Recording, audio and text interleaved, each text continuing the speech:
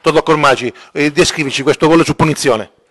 Ma beh, non è tanto il mio gol su punizione, ma l'importante era vincere. Come ho detto a fine primo tempo ai colleghi di Stadio Radio, noi oggi dovevamo vincere a tutti i costi, quindi sono contento per il gol che ho fatto, per il bel gol che ho fatto, però sono contento soprattutto per la squadra perché ci serve, c'è morale, mettiamo altri tre punti dentro, quindi arriviamo a otto punti in classifica, ci risolleviamo un po' dalla sconfitta pesante e brutta che abbiamo fatto a Morrone per 3-0, senza mai giocare a pallone.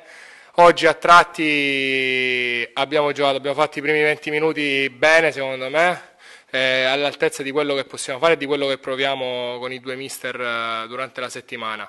E, ehm, mh, dopodiché siamo un pochettino usciti dal gioco. Eh, e poi il secondo tempo siamo riusciti prima di, dell'errore di questi errori che ci costano tanto, ci sono costati con lo Scalè, ci, sono, ci stavano costando oggi un'altra, un'altra vittoria. Totò, come mai questa squadra va in apnea? Pare alcune volte che non esiste in campo. Che cos'è? Un problema atletico, un problema mentale? Allora, atletico No, perché comunque noi durante gli allenamenti ci sentiamo bene eh, rispetto magari a qualche settimana fa che eravamo un pochettino eh, bloccati o comunque il prof sta lavorando bene. Eh, tutti, tutti, o bene o male tutti, stiamo, stiamo veramente bene con le gambe.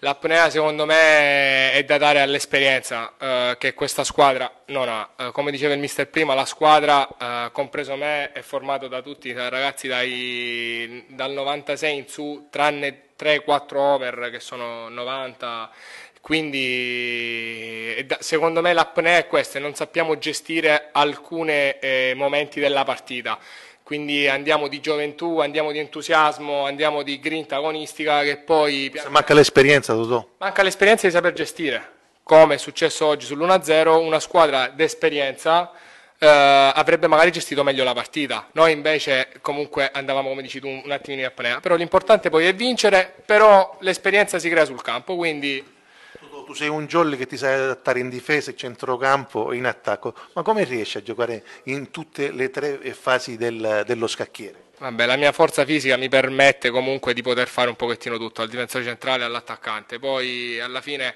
per me eh, questo non è un primo lavoro, ecco, quindi per me questo è un, un divertimento. Eh, cerco di dare una mano importante alla società, al mister che me l'hanno chiesto all'inizio, del, all'inizio dell'anno quindi dove mi mettono cerco di dare il meglio. Poi ci sono dei ruoli in cui do meglio e alcuni ruoli in cui... Grazie a Totò Cormaci e veniamo a Carmelo Moio, ragazzo di Bagnara, ancora una volta in gol, il secondo gol stagionale con il Gallico Catona, un bel tiro che, ha, che si è infilato nel set, imprendibile per il portiere ospite Palumbo. Ce lo descrivi? Come, hai, come sei riuscito a invettarti quella traiettoria imprendibile per Palumbo?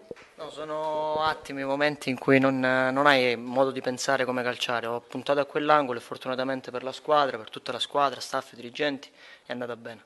Come ti sei trovato con un compagno di riparto Crisalli? No, ma io mi trovo bene con tutti i compagni, indistintamente se sia Crisalli, Totò, abbiamo giocato insieme anche una partita in attacco. Penso solo a fare il bene, a mettermi a disposizione della squadra e a mettere in atto quanto proviamo in settimana con, con entrambi i mister.